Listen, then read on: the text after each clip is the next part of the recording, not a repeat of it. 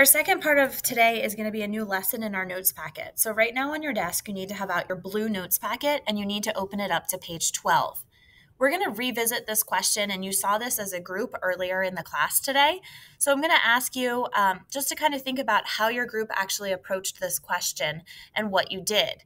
So, hopefully, you took the $13 in total and you subtracted off the $7, which were my chocolate and my marshmallows. That left me with $6. That got me two boxes of graham crackers. So my guess is that you probably went ahead, divided by two, and you were able to figure out that each box of graham crackers is going to cost $3.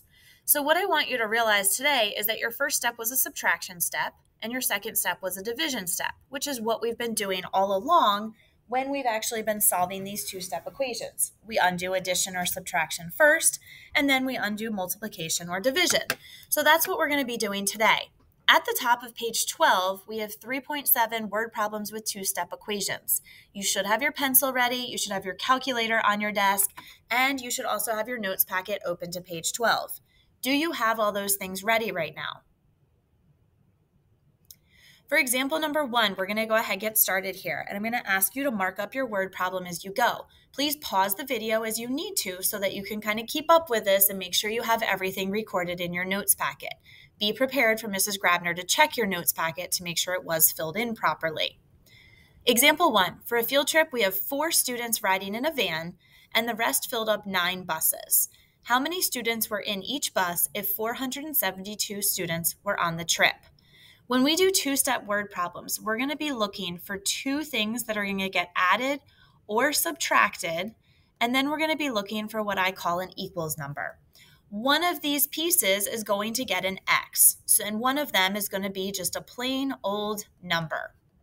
So my plain old number here are the four students who rode in the van. They are part of our group, but they're not riding in a bus, and we know that in the van there's only four of them. The rest of the students filled up nine buses, but how many students went on each bus? We don't really know. So we're going to go ahead and put the X with the number nine because nine buses times X students on there. So X is going to represent students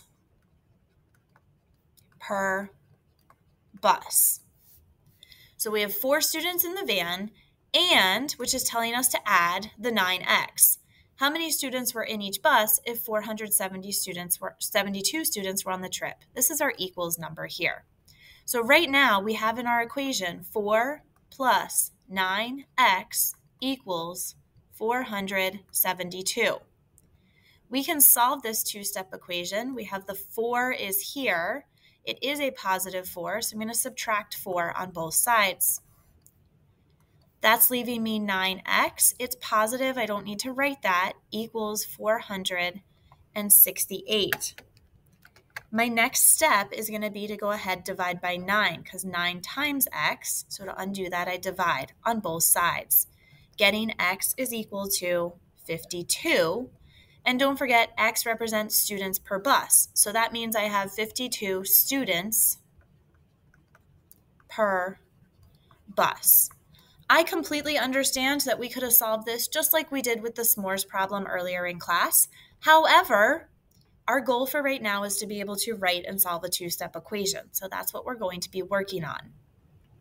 In example number two, Aaliyah had $24 to spend on seven pencils. After buying them, she had $10. So when everything was done, she was left with 10. That sounds like an equals number to me. So if we have $24 to start and we're spending it, so when we spend our money, we're going to be subtracting and we're buying seven pencils. Do we know how much the pencils cost? We don't. So it's going to be 7 times x. And x is going to represent the cost of a pencil. So writing this out, we have 24 minus 7x equals the $10 remaining. Going ahead, dropping our line down, we are going to have 24 right here. We're going to subtract the 24. That's going to leave us with a negative 7x. Please be careful that negative goes with the 7 equals a negative 14 negative 7 times x, so I'm going to divide by negative 7. Matchy, matchy. matchy matchy. So x is equal to 2. Remembering x is the cost of a pencil, so we're going to say for our final answer, $2 per pencil. So far, have you had two examples written down in your notes completely? Example number three. Example number three. How old am I if 400 reduced by two times my age is 244? We don't know how old I am, so we're going to say X is my age. We're starting off with 400 and we're reducing it. Reducing would signal subtraction, and we're doing two times my age. Well, times means times, and we don't know my age. So we have X is 244, is signals equals, just like you would have said. 2 plus 3 is 5. So is is an equal sign. So our equation kind of came to life right here in front of us. We have 400 minus 2x equals 244. Dropping your line down, we're going to subtract the 400 that's our armadillo out front here. The negative goes with the 2, which goes with the x. Those cancel, bring down your negative 2x. And 244 minus 400 will give you negative 156. Divide through by the negative 2 because these are multiplied together. And we get that x is equal to 78. 78 represents an age, so we would say 78 years In example number four, Frank paid the local dog groomer $27 to get his dog an $18 dog bath and three additional services. Did you know that when you take your puppies to the groomers, they can get puppy tattoos? They're glitter tattoos. They can also get sprayed with special yummy smelling vanilla scent, and they can have their ears cleaned and their nails clipped and all that kind of good stuff.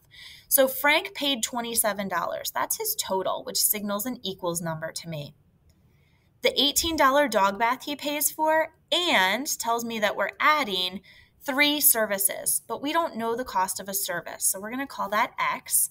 And X is going to represent the cost of a service. So that's an additional service here. So we have our $18 dog bath plus the three times the cost of the service is equal to Frank's total of $27. Take a second, go ahead and solve this equation to tell me x equals how much are the dog are the extra services for Frank's puppy. First thing you would do is subtract that 18 off the front. So in doing that, you have a positive 3x is equal to 9. So we're going to divide by 3, and that would give me that x is equal to 3. This is a cost, so we're going to put a dollar sign with it per service. So that's our best answer there. Now, in comparison to that, Ashlyn took her puppy someplace else and she paid 250 for each additional service for her dog.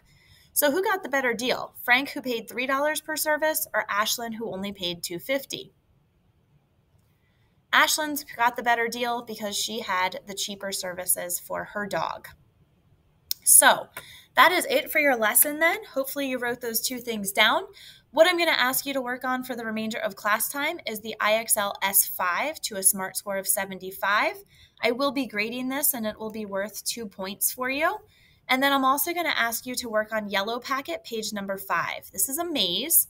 Um, you can show your work right on that page, or if you need to, you're welcome to get scrap paper. Just make sure that you keep your scrap paper with your work for that one, and please document the, the like the way that you actually go around the maze. There are highlighters on my desk. You are welcome to use one of those if you would like to.